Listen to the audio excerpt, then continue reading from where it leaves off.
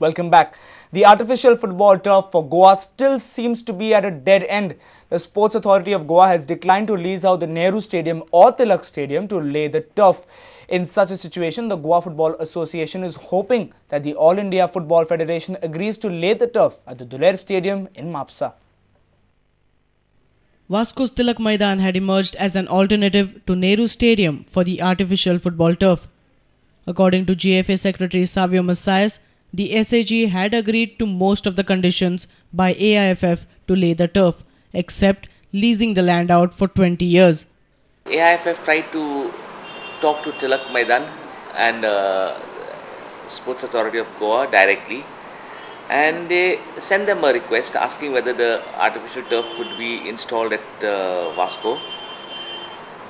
They sent them the terms and conditions. Now I received a copy of the reply a couple of days ago and Mr. V.M. Prabhudesai says he accepts most of the conditions but he says it is not possible for SAG to give the land on lease, the ground on lease for 20 years. He's also said that the ground would be available for all other purposes other than football also. Uh, like for example, maybe the schools want to have their sports meet, the ground would be allotted to them. The ground would be allotted to SAG, Director of Sports, GFA, schools, and uh, the condition that first priority would be given to AIFF does not exist in the in in the MOU which SAG is willing to sign with AIFF. So now the question is where will artificial turf go? With Tilak Maidan, uh, with SAG rejecting the Tilak Maidan pro, uh, proposal, Fatorda also proposal. So I, I think finally the artificial turf will should be laid at Duler. If AIFF is not agreeing, Duler, what will be the fate of the uh, turf? Well, unfortunately, if All India Football Federation do not agree, then it looks like Goa would be the uh, loser. In such a scenario, Duler seems to be the ideal venue to lay the turf. But its location far from the Madgaon based AIFF center, drainage and security concerns have put the AIFF on the back foot. Ultimately, the decision lies in the hands of the AIFF. However, if the situation continues to be stuck at a dead end, Goa may lose the chance of having the much needed artificial turf. Our reporter from Vasco, Surendra Madkaikar. Goa Cricket Association President Advocate Dayanand Narvekar praised BITS Pilani's Goa campus for promoting sports with quality infrastructure. At the same time, Narvekar highlighted Goa University's failure to produce such facilities. This is the second year BITS Pilani has been associated with GCA in conducting the cricket tournament during their national intercollege sports event called SPREE Pure Sports 2010. GCA President Narvekar spelled out the reasons for assisting BITS Pilani in their sports event.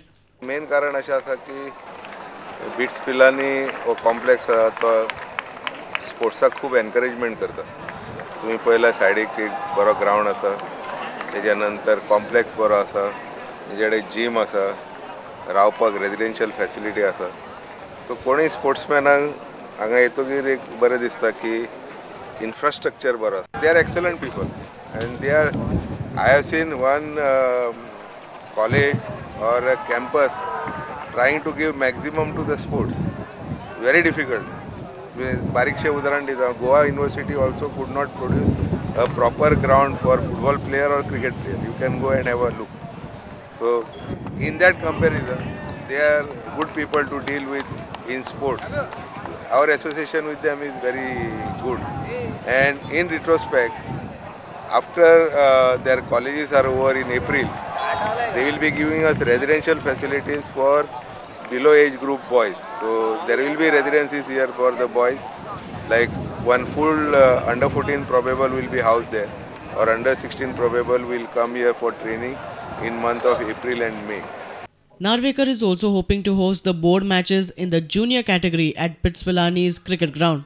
फुडल्या वर्सा बोर्डाची under sixteen matches मेळ्यो जाल्यार त्यो फूल मॅची आमी हांगा घेतले last year आमकां under nineteen मॅची मेळयल्यो फुडल्या वर्सा अंडर सिक्स्टीन मॅचीस मेळटले किंवा नायन्टीन सो ते ज्युनियर लेवलाच्यो मॅची आमी हांगा खेळूंक शकता जे national level A reporter from Vasco, Surendra Madkaikar.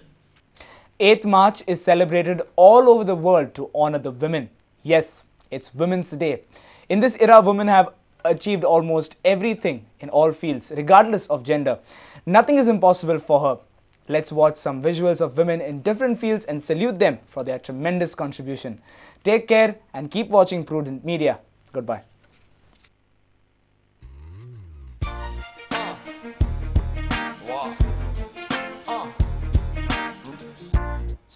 Amazing how this world was made.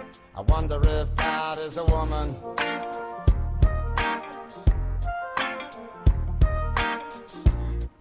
Of life astounds me to this day. I give it up for the woman.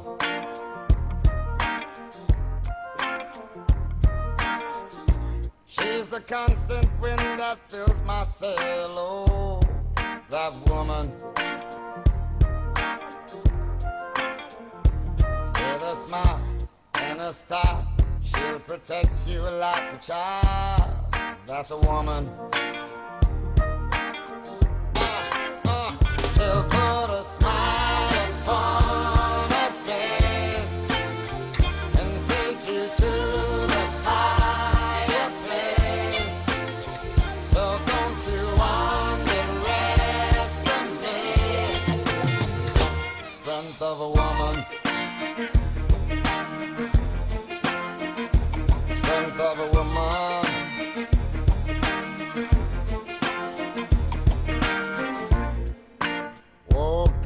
This morning. I got up with a scent of a woman.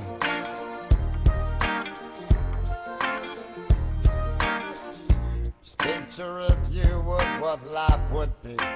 Ain't much good without a woman.